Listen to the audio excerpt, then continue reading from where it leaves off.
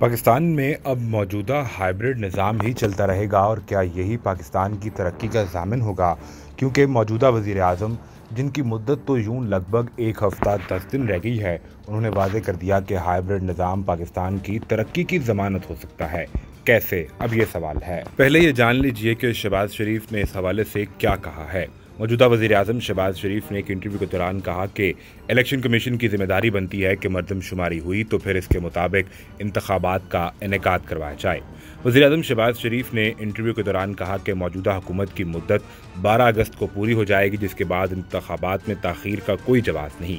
Election commission की ज़िम्मेदारी बनती है कि मरदमशुमारी करवा ली है तो अब नई हल्का बंदियाँ और फिर इंतबात करवाए जाएँ। इंतबात के बाद अवामी मैंडेट से बनाई जाने वाली हुकूमत कम अज़ कम पाँच साल के लिए आनी चाहिए और हुकूमत को अपना वक्त पूरा करना चाहिए। शहबाज शरीफ ने कहा कि निगरान सेटअप के हवाले से मुशावरत पूरी हो गई है और आइंदा इंतबात में नवाज़ शरीफ ही मुस्लिम लीग नून के वज़ीर अजम के उम्मीदवार होंगे।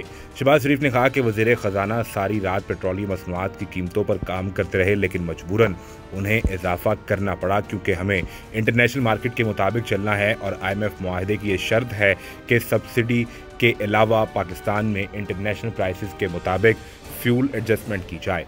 वजी अजम ने कहा कि मौजूदा सिपा सलार के इंतखब पर फ़ख्र है। नौ मई को रियासत के ख़िलाफ़ चेयरमैन पी टी आई के उकसाने पर बगावत की गई, जबकि मौजूदा सेटअप के हवाले से उन्होंने कहा कि मेरी हुकूमत ने किसी को नाजायज़ चुटकी भी नहीं काटी, जबकि गुजशत हुकूमत में तमाम सियासी रहनुमाओं के ख़िलाफ़ चोर और डाकू का बयानिया बनाया गया। उन्होंने कहा कि सोशल मीडिया पर दिन रात चलने वाली वीडियोस किसने नहीं देखी?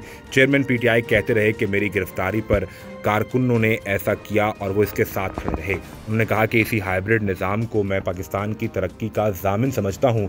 यानी ऐसा निज़ाम जिसमें सामने शहबाज शरीफ की तरह एक मोहरे के तौर पर वजी अजम मौजूद हों, लेकिन निज़ाम को असल में इस्टबलिशमेंट और इदारे ही चला रहे हों। वो एक बार फिर इंतबात के बाद ऐसा ही निज़ाम चाहते हैं। और ऐसे निज़ाम में इस्टबलिशमेंट को भी बेहतरीन वजी अजम के तौर पर शहबाज शरीफ ही सूट करते हैं।